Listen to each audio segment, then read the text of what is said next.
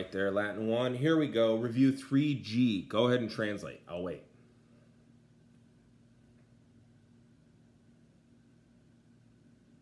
Okay, you've translated. Uh, so here we go. Um, be careful of tense. Get out your red pen. Correct things as you go. There's nothing wrong with correcting mistakes. There's something wrong with trying to hide mistakes. So when Tullus Hostilius, the third king, was ruling the Romans, the Romans were fighting with the citizens of Alba Longa, of a city which was not far away. In fact, I know exactly how not far away. It was like 12 miles. And last year, I spent the night on the other side of the mountain from when they actually had this battle. Um, ah, yes. Um, however, uh, they uh, neither the Romans nor the Albans were wanting to fight. Uh, for many Romans uh, were having either friends or relatives in the city Alba Longa. And so the Romans see, uh, were the Romans seize a plan, and they send uh, messengers to the Albans.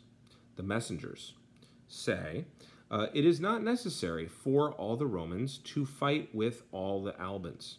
We have amongst our soldiers triplet brothers, by name Horatii, or name the Horatii. Y'all have amongst y'all's uh, triplet brothers, uh, named the Curiatii."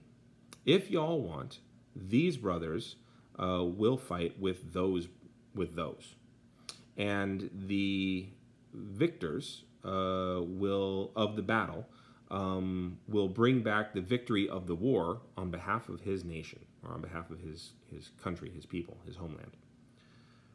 This plan pleases the Albans. The brothers hurry into the war or into battle. They fight fierce. The Horatii and Curiatii fight fiercely. Um, one from the Curiatii receives a wound, then another, then a third. Uh, however, the Curiatii kill two from the Horatii. One Horatius stands uh, against three wounded Curiatii, alone but unhurt. Horatius, however, uh, does not fear, and, but he seizes a plan. Horatius already runs from that spot and he flees from the Curiatii. The Curiatii seek the Horatius, but uh, because they are wounded, they run with large intervals in between. And so, when one from the one Curiatius uh, goes past his brothers, Horatius turns himself and he kills him, the Curiatii. Again, Horatius flees.